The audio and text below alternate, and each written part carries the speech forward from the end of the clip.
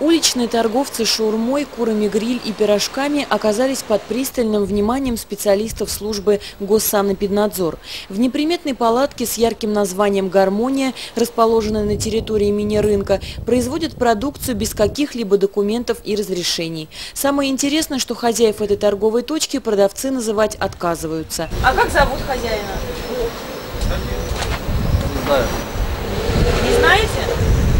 А после появления здесь съемочной группы ее вообще закрывают.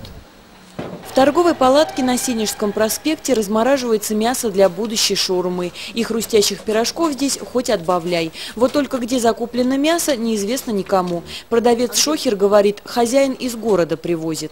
Да. А где? Можно с ним познакомиться? Или вы Нет, сейчас. Вот Турция. А какие-нибудь вот документы можете показать вот на куры гриль? У вас есть какие-нибудь сертификаты? Все у него. Все у хозяина?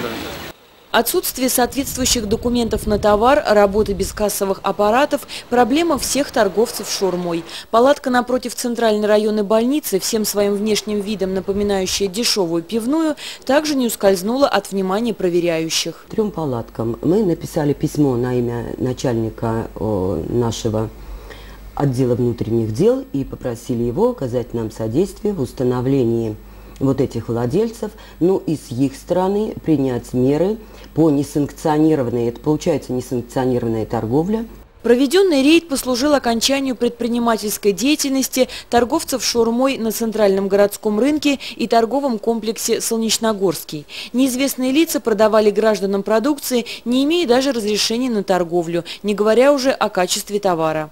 Торгуют шаурмой с нарушением санитарных правил. И в первую очередь нет никакого контроля за качеством ни поступающего сырья, ни продаваемой продукции.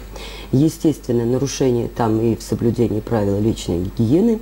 Значит, вот на эти две палатки материалы дела мы передали в суд на приостановление их деятельности. Задумаются ли теперь о своем здоровье солнечногорцы, покупая сочную курочку из рук уличных торговцев?